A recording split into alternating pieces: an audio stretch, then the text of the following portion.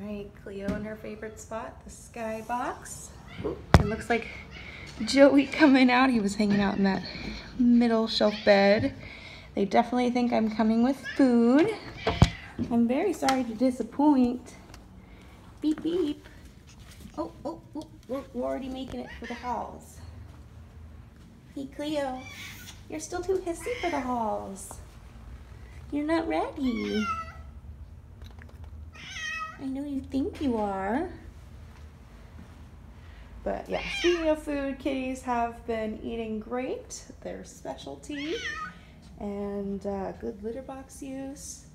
They've been here a bunch of times, so they know the drill.